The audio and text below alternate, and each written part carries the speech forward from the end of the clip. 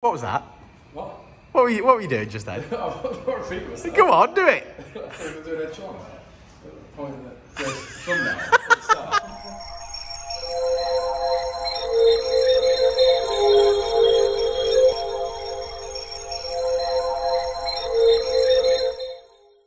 Richard, this is this is a very green MR2.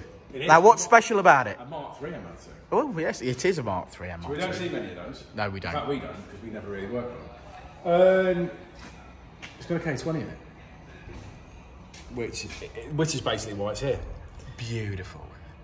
We had this car in before Christmas, um, and it didn't perform. Basically, when we put it on the dyno and we started doing some power runs on it, very quickly it died once it went onto VTEC. Uh, had some issues, um, had some engine management codes going on, uh, a few bits and bobs. And something me and Dan always say is, if you start having problems that early on, then you know it's sometimes time to quit and fix some things and then go back at it. Yeah. Um, A bit of detective work. yeah, a bit of detective work. The VTEC solenoid was leaking oil, but it wasn't leaking oil from the gasket. It was leaking oil from the actual solenoid itself. So it threw up an oil pressure fault first, then it threw up the VTEC solenoid fault. Uh, we had an oil, uh, sorry, an air intake temps fault, but obviously that was because it didn't have a sensor in it. Um, the main thing for the power, in my opinion, it was down massively. I think we finished at about 190 brake, Yeah. something like that.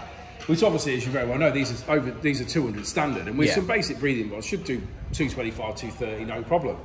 Um, we believe that problem was down to the exhaust. Basically, the manifold looked pretty good, and they brought it down, but they'd gone to a collector and reduced it down to two and a quarter, and then gone into a 70 mil exhaust or gone up to a 70 mil exhaust. So in itself, it looked okay. So I've had to repair that. Uh, well, I'm going to say repair that collector, but make that into a, a true three inch, and then put a three inch V band on.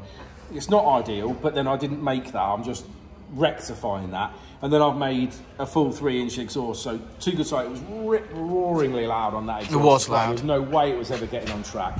Um, yeah, so we've made a true three inch obviously from there, put two good silencers in it and remade the exhaust as well. So hopefully now with the improvements to the exhaust and fixing all of the bits that needed fixing as regards sensors and VTEC solenoids and stuff, we should now be able to put this on the dyno and make some power.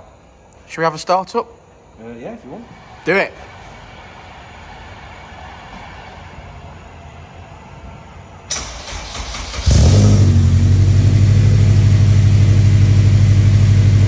Well, that's already quieter.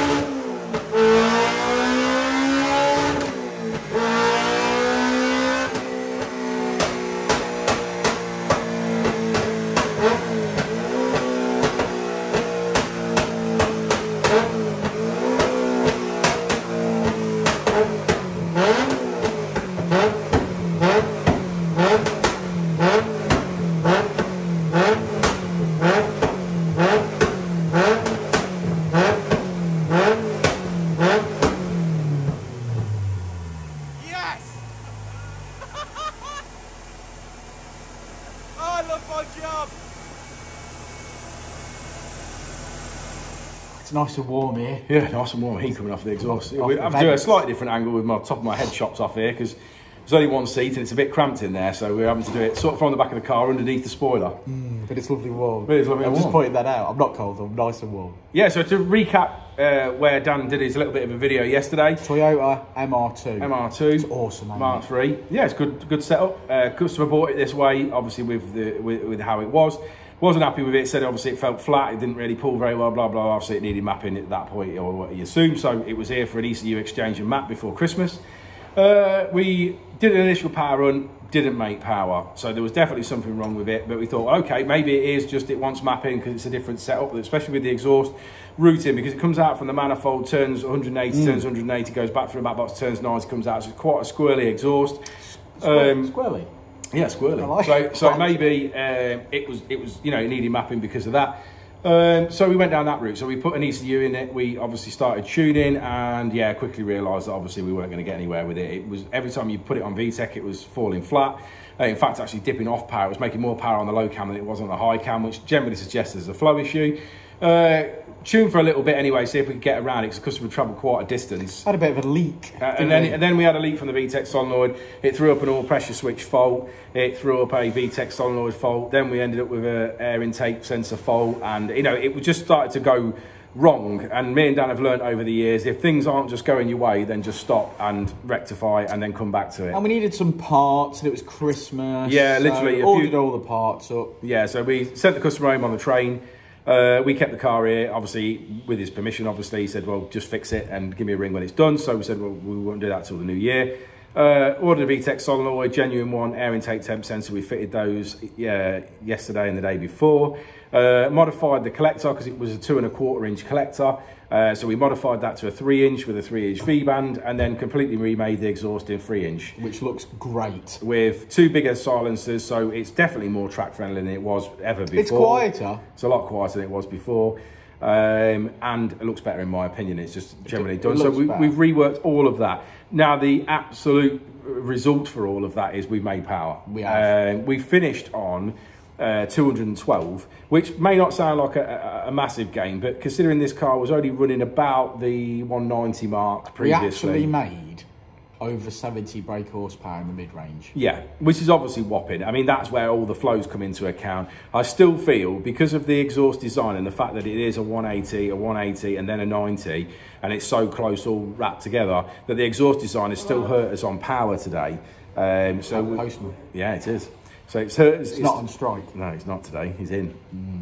So uh, yeah, that has still hurt us a little bit on power. Uh, but I don't feel it's a flow issue now. We're up to 212. Uh, I think this is made as good as it's going to make. This is going to Um, be rapid. no, it will be rapid compared to what it was, without, without question. It will not be disappointed. The bombs it drops is pretty impressive as well.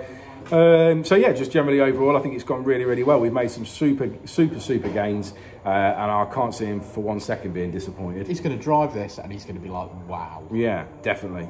Should we have a look at the graph? Yeah, let's have a look at the graphic, Mum.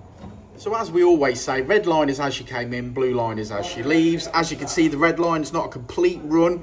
Uh, pulling out, uh, pulling out, never pull out. Um, but yeah, uh, we've made some significant gains there, and we finish. Oh, hang on. We finish on 212, which is 186 at the wheels, and it is a gem.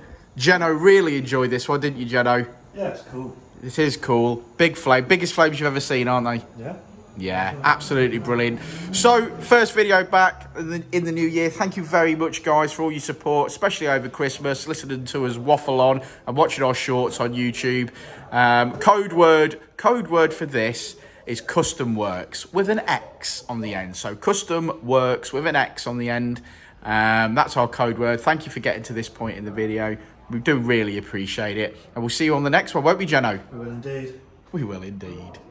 Like before, and I'll say it again. Life moves pretty fast.